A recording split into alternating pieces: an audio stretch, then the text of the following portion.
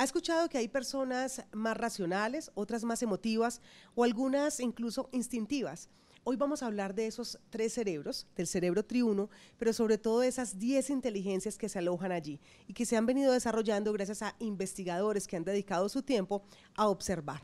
Pues hoy nos acompaña Javier Mosquera, él es consultor en gestión humana y con él vamos a hablar de este interesante tema. Javier, bienvenido a Negocios, qué bueno tenerlo acá. Gracias Paola por la invitación y encantado nuevamente de estar compartiendo con ustedes. Cuéntenos, Javier, inicialmente hablábamos de ese cerebro reptiliano, luego del cerebro límbico y posteriormente venimos hablando de un cerebro de ese neocórtex o esa corteza que se ha venido desarrollando y que decimos que eso es lo que nos diferencia de los animales. ¿Cuáles son las inteligencias que se alojan en este último, la neocorteza? Claro, bueno, para comenzar a hablar sobre neocorteza vamos a tocar un tema bien especial y es cómo ha evolucionado esta teoría sobre el cerebro y hay algunos escritores que nos han dejado buena teoría. Está Paul MacLean sobre el cerebro triuno, que era lo que nos conversabas iniciando.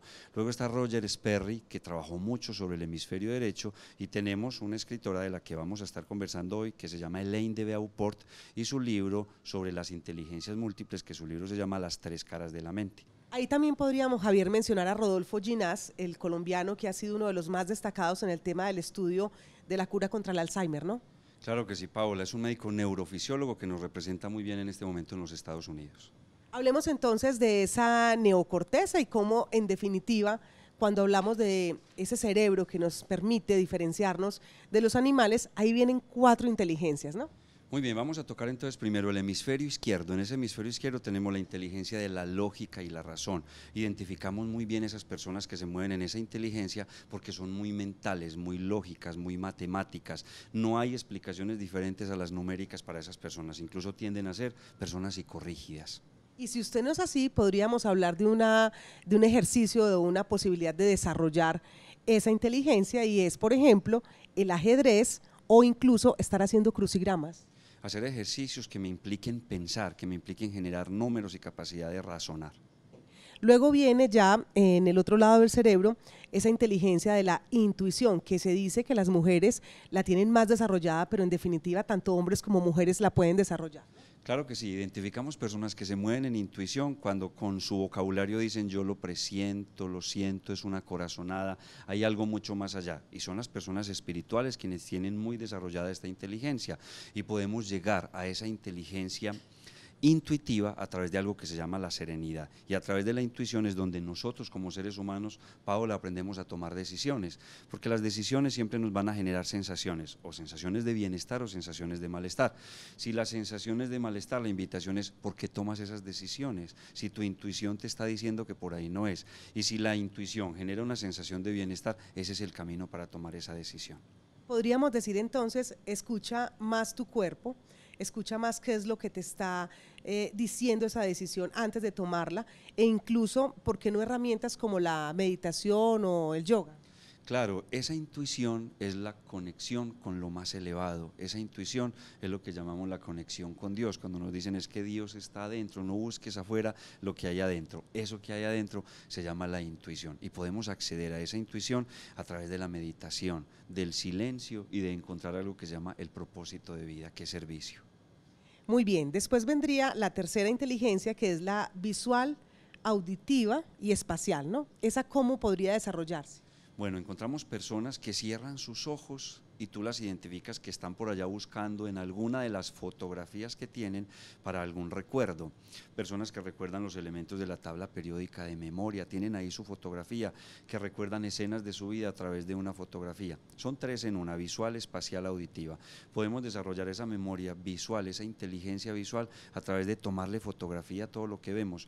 Siempre comparo esto con tomar una fotografía de un viaje, una fotografía no puede expresar todo lo que el ojo humano está viendo. La mejor cámara que tenemos es el ojo humano. Aprovechemos ese ojo, esa cámara para tomarle fotos a todo lo que estamos viendo y desarrollamos esa inteligencia visual. La espacial la tienen muy desarrollada los arquitectos, los ingenieros, los jugadores de fútbol, los goleadores, ellos saben por dónde hacer su jugada. Y la auditiva es muy especial empezar a analizar los niños cómo sacan melodías a oído, sin tener que estar en clases de música. Entonces podemos desarrollar esa inteligencia auditiva a través, vuelve y aparece, el silencio, la meditación y el propósito. Es conectarnos con nosotros mismos, hacer esas caminatas del silencio, pero siempre estamos con un ruido interno, Paola, todo el tiempo estamos con el sonido en el carro, con el equipo encendido en la casa, con el televisor encendido, en el gimnasio con el audífono, todo el tiempo en un ruido constante. Esa inteligencia se puede desarrollar a través de escucharnos nosotros mismos. Vendría después la cuarta inteligencia o relacional asociativa, ¿no? En esa relacional asociativa eh, podríamos decir que son las personas que permanentemente están definiendo o grabando en su memoria un nombre por cómo se le parece esa persona a otra. Con mis alumnos en la universidad aplico mucho la inteligencia relacional o asociativa porque en el primer encuentro escucho el nombre de cada uno de ellos y ese nombre que cada uno me va diciendo lo relaciono con familiares, amigos, personas conocidas y hace que no se me olviden, ¿cierto? Poniendo a trabajar completamente mi inteligencia relacional o asociativa. Después de cierta edad, nosotros como seres humanos empezamos a olvidar nombres de cosas. Hasta las palabras más sencillas, cuando estamos en un diálogo, tranquilamente se nos olvida una palabra muy sencilla. Esas palabras que tendemos a olvidar, es importante relacionarlas o asociarlas con algo. También esa inteligencia es interesante trabajarla para generar creatividad e innovación, hacer combinaciones extrañas, asociaciones extrañas. Ejemplo, el arco iris musical, ejemplo, el sombrero mágico, ejemplo, la llanta cuadrada. ¿Qué se ocurre de eso? Generan ideas nuevas, creatividad e innovación a todas las organizaciones. De ahí pasamos de la neocorteza a ese cerebro límbico o de las emociones.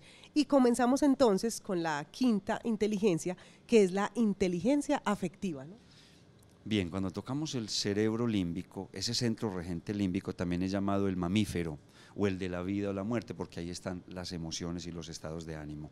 Ahí tenemos tres inteligencias y me tocaste la primera que se llama la inteligencia afectiva es dejarse afectar. Le sacamos mucho el cuerpo a lo que no nos gusta, la comida que no nos gusta, las personas que no nos gustan, las combinaciones que vemos que no nos atraen, el clima, la película. Y esta propuesta de Lane de Beauport en su libro de las tres caras de la mente lo que invita es déjese afectar.